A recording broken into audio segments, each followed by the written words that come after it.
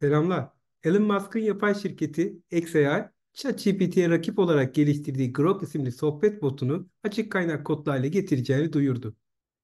Bu hamle, yapay zekalarındaki gelişmelerin hızlandırılmasını, daha fazla şeffaflık sağlamasını ve daha fazla katılımcıyı bu alana çekme potansiyelini taşıyor.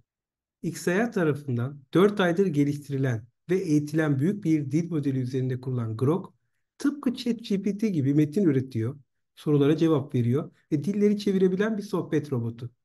Grok'un ayrıca beni etkileyen bir kısmı da diğer yapay zeka sistemlerinin cevap vermekten kaçındığı tartışmalı sorulara hiç çekinmeden yanıt verebilme özelliğine sahip olması. Grok şimdi sadece X'te ve premium abonelik yoluyla test edilebiliyor. Ancak XAI e, Grok'un açık kaynak kodlu hale getirilme sayesiyle daha fazla geliştirici ve araştırmacının modele destek vereceğini umuyor. Tabii Grok'un açık kaynak kodlu hale getirilmesi ChatGPT veya Google Gemini gibi dev rakipleri için oldukça önemli bir adım. Çünkü Elon Musk ilk yatırımcılar arasında OpenAI'nin ilk alındığında ve şeffaflık yerine kar öncelik verdiğini ve misyonundan saptığını iddia ederek şirkete bir dava açmıştı. E, Grok'un kodunun yayınlanmasıyla iki şirket arasında rekabetin artacağını düşünüyorum. Peki siz Grok hakkında ne düşünüyorsunuz? Yani ilerleyen zamanda ChatGPT veya Google Gemini'yi geride bırakabilecek mi?